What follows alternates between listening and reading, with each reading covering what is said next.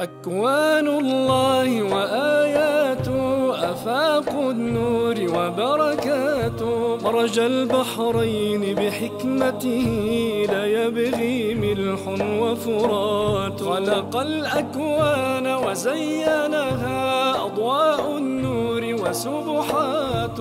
وجبالا أرس بقدرته زرع وثمار ونبات. أحوال الخلق يدبرها شهدت بالجود الخيرات الخيرات.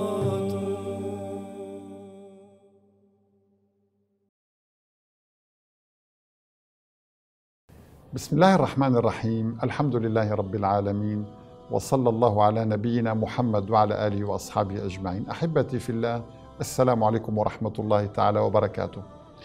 وأرحب بكم في هذا اللقاء العلمي الإيماني المبارك من سلسلة آيات للموقنين. لنتأمل خلق الأرض وخلق الجبال وخلق الماء والمطر ونتأمل الكثير من الحقائق العلمية التي سخرها الله لنا. فالله عز وجل خلق هذه الكائنات ثم سخرها لخدمتنا ثم وضع فيها آيات معجزة ثم أنبأنا عنها في القرآن. يعني انظروا إلى هذا الكم الهائل. هل يمكن أن يكون قد جاء بالمصادفة؟ أن الطبيعة خلقت هذه الجبال مثلا وخلقت الماء وخلقت الحشرات وخلقت النبات وخلقت الكائنات الحية من حولنا والتي نستفيد منها. ثم سخرتها لنا لتأتي مناسبة لحياتنا. يعني مثلا انظروا النحل يصنع العسل منذ ملايين السنين. بانتظار أن يأتي الإنسان ليستفيد من هذا العسل الذي يعتبر أكثر مادة شفائية في هذا الكون. لذلك أيها الأحبة أنا اليوم أحببت فقط أن آخذكم إلى منطقة في غرب الصين فيها جبال مخططة ملونة وكأن إنسانا رسمها. مثل طرق تستطيع أن تسير عليها كل طريق عريض جدا ولكنه بلون مختلف عن اللون الآخر. يعني شيء غريب عندما يعني كشف العلماء هذه الجبال حديثا. وهذه لم تكن معروفة في الماضي ولم تكن معلومة في الجزيرة العربية. انظروا معي إلى هذه الألوان. هذه ألوان طبيعية. سنشرح سر هذه الظاهرة بعد قليل ولكن انظروا إلى هذه الألوان. تتميز باللون الأحمر والأبيض وهناك لون أسود أيضا في بعض المناطق سبحان الله. يعني آه الإنسان يتساءل هذه ألوان حقيقية؟ وتزداد مع آه يعني آه ظروف معينة أثناء درجة حرارة الشمس وانعكاس الشمس. تظهر بلون أوضح انظروا الغرابيب السود اللون الأحمر اللون الأبيض. الله سبحانه وتعالى أنبأ عن مثل هذه الجبال. قال تبارك وتعالى ومن الجبال جدد أي طرق بيض وحمر مختلف ألوانها وغرابيب سود. سبحان الله حدد لنا الألوان يعني شيء مذهل.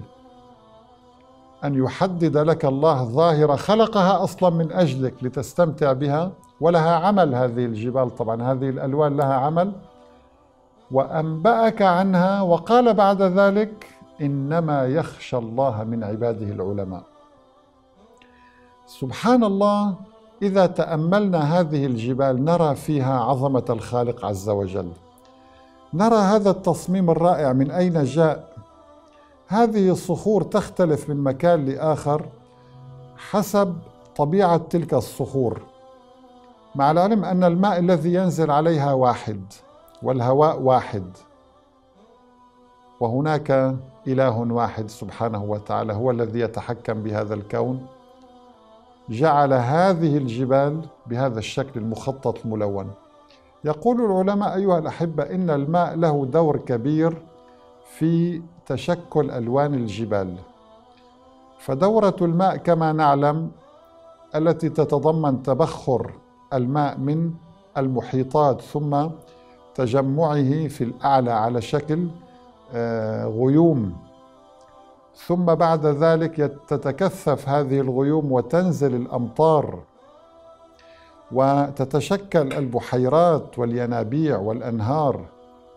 وهنا الشمس نلاحظ أنها مسخرة كدينامو أو مولد لهذه الدورة والرياح مسخرة أيضا لحمل هذه الجزيئات من البخار.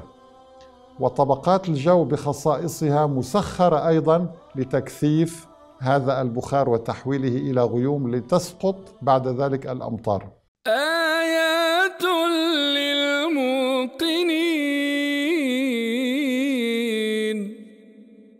هذه الأمطار عندما تنزل على الأرض تغير ألوان هذه الجبال حسب تركيب الصخور وحسب تأثرها بهذا الماء لأن الماء له دور مهم أيها الأحبة.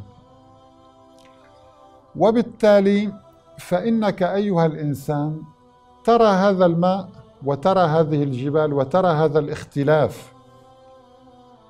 يوجد مليارات الأنواع من النباتات بألوانها كلها تسقى بماء واحد. وهناك مليارات البشر على اختلاف ألوانهم يسقون بماء واحد أيضا سبحان الله. حتى ضمن النبات الواحد لا تجد ثمرتين متشابهتين. ضمن الشجرة الواحدة لو أخذت ثمارها تجد لكل ثمرة هناك اختلافات سبحان الله. وكأن الله يريد أن يقول لك إن الله هو الواحد الأحد سبحانه وتعالى. الآن أيها الأحبة دعوني أتأمل معكم ماذا قال القرآن العظيم عن ظاهرة المطر. الله عز وجل قال وأرسلنا الرياح لواقح الرياح تلقح السحاب فأنزلنا من السماء ماء فأسقيناكموه وما أنتم له بخازنين. سبحان الله أشار هنا إلى ثلاث حقائق علمية. حقيقة تلقيح الرياح للسحاب من خلال نويات التلقيح الموجودة في الغبار بشكل دائم وجزيئات الملح. وأشار إلى آه، نزول المطر وتخزينه في الأرض وما أنتم له بخازنين. وأشار إلى أن هذا الماء عذب صالح للشرب فأسقيناكموه. اذا الإنسان لابد أن يقف أمام هذه الآيات لابد أن يتأمل. هل هذا خالق رحيم أم أنه غير ذلك؟ هل هذا الإله يحبك أيها الإنسان أم لا؟ الذي سخر لك كل شيء هل هو محب لك؟ أكيد. الذي وضع لك كل هذه الآيات في القرآن وكل هذه الدلائل هل هذا إله يريد أن يعذبك أم يريد أن يرحمك ويريدك أن تبني يقينك به على العلم؟ نسأل الله تعالى أن ينفعنا وإياكم بهذه الحقائق العلمية وأن يجعلها نورا لكل من في قلبه شك من هذا القرآن يرى من خلالها عظمة هذا الدين وعظمة وروعة الإسلام. وآخر دعوانا أن الحمد لله رب العالمين. والسلام عليكم ورحمة الله وبركاته. آياته للموقنين رتلت ذكرا مبينا شمسه بالنور تسري قل من أقرى العيون.